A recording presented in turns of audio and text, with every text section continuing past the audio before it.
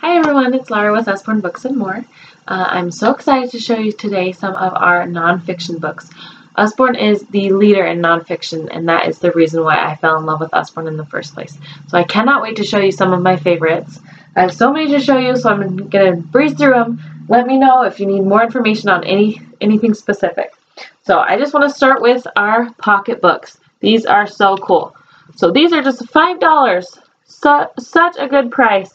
And they are just full of information about all kinds of this one's on mammals. It's got facts about where they live how big they are uh, their predators their lifespan all kinds. Children just eat these up. Okay and then along kind of along those lines we have our beginner series. So here are just a few but we have tons of these. There's like 30 or 40 or something like that in the collection. So they've got a, well, in this series, there is a table of contents and then also a glossary in the back. So this really is teaching children how nonfictional books work. Um, and it just has a ton of great info, beautiful pictures. There's also a new series that just came out. Uh, the first two are Baby Animals and Flowers. And this is a young beginners. So in these, um, they're just like the beginners. They don't have the table of contents. They're just a lot simpler for those first readers really learning about nonfiction. All kinds of different fun things to learn. Okay, um, my the next I want to show you are I am in love with these big books. Big Book of Big Machines. There are a whole bunch of these. So I've got a few here. Big Book of Big Machines, Big Book of Big Animals, Big Trucks, Big Monsters. This one's full of all kinds of mythical creatures, legends, all kind of things like that. So fun. Um, and then the brand new one that just came out, Big Book of the Body. And these ones, what makes these ones so unique is they've got thick cardboard pages and they fold out how cool! Look at this side. And there's tons of great information to learn on there. Let's see. We've also got uh, tractors, trains, dinosaurs, stars and planets, rocket ships.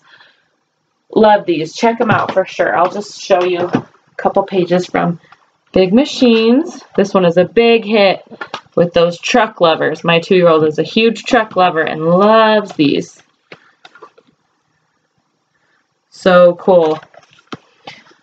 Okay, we have got some awesome encyclopedias. This children's encyclopedia, oh, is one of my favorites. It is amazing. So it's got beautiful, bright illustrations gorgeous. It really sucks you in with the beautiful illustrations. And then children can really choose how much they want to read and learn about something.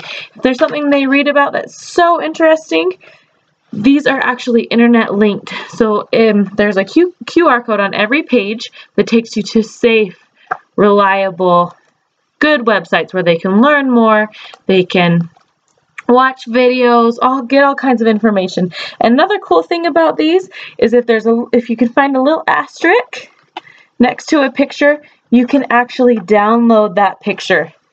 How cool for science projects, school projects. How cool is that? See that little asterisk? You can download those pictures directly from the website. So cool. Check out that Children's Encyclopedia. We also have some other encyclopedias that are a little more intense. This is a geography encyclopedia, so this whole thing is geography. We also have science and history, so it's just a little bit more in depth. This is also internet linked as well. Just a little more info. And then along the lines of the encyclopedia, we have World of Animals, and there's a few others like this as well. It's kind of like an encyclopedia, gorgeous. Gorgeous pictures, also internet linked. And then this one also has this has first encyclopedias. This one's about science, so they're a little bit smaller, a little easier to take in. Um, a lot of this information is in this encyclopedia, so if you get this one, you wouldn't need this one as well, but this is just um, just a smaller portion of it. Okay, so moving on, we have amazing flat books, a few different levels. So we've got the peek inside, which is more like toddler age. So I'll just show you, here's a few. I've got gardens, dinosaurs, animal homes, and farm. So I'll just take it inside, perfect for little toddlers, nice thick pages, just to really start learning about all kinds of different things. This one's about the farm and animals on the farm. But it's so fun that children are engaged as they're lifting the flap and learning more and really participating in the in their reading experience. So a step up from that is the Look Inside series. There's I've got airport here, space, mummies and pyramids, and castle. Um, there's obviously more than this as well, but this one, Look Inside an Airport. I think everyone, every child should have this that's going to go on a trip. What an awesome prep to ride on an airplane and even to take on the airplane with you. It talks about checking your bags and the x-ray machine and there's flaps and flaps and flaps and flaps. But it goes through the entire experience, preparing the plane, carrying cargo, taking off. How do planes take off? So cool. Such cool information. So that's the Look Inside series. And then our more advanced is the See Inside series. So here's a few from that. How things work, see inside your body, computers and coding, times tables. So just taking you inside so you can see what it's like. So as you can see, this one's a little bit more advanced, but still uh, manageable info. So they can, children can really take it in as they want and as they need it and get in, get engaged with the picture and learn more and lift the flaps. Great for those kinesthetic learners.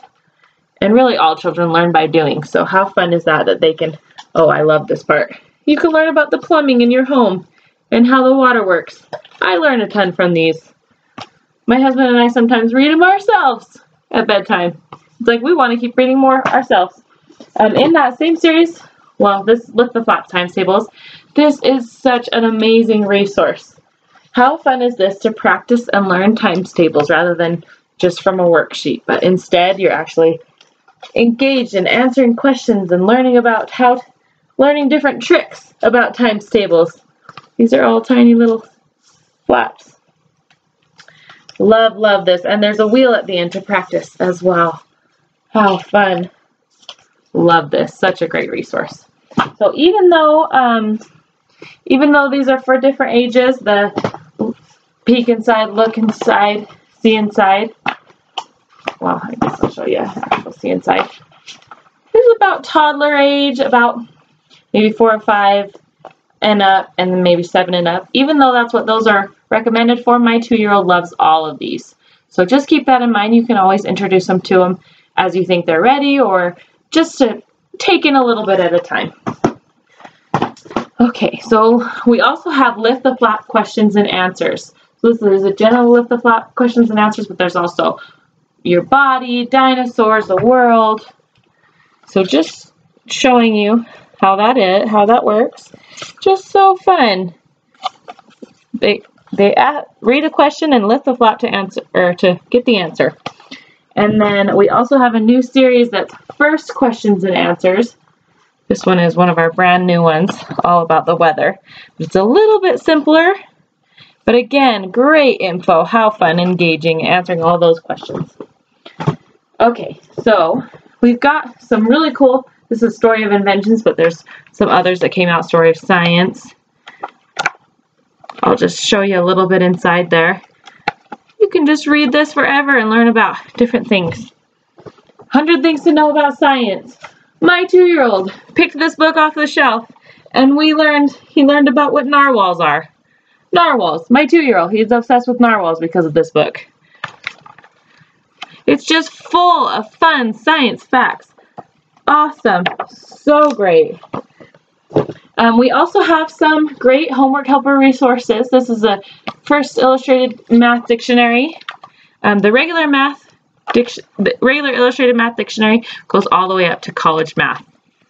What a great resource. We can always use more resources to help our kiddos with that. Okay, a couple more I want to show you. My very first space book. It's got thick cardboard pages.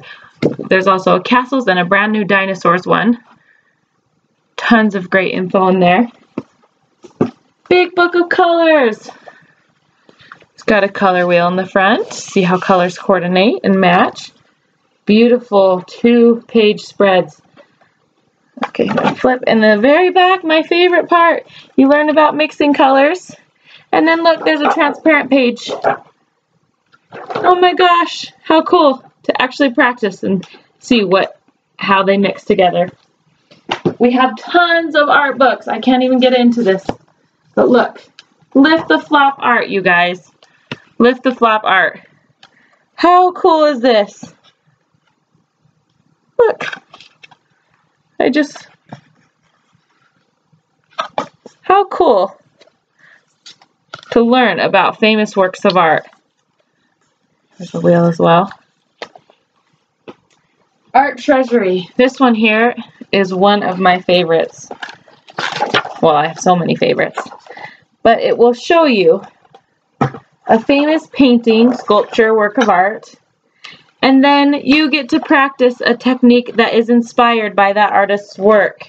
So cool. Not just paintings, but there's also sculptures and spin art.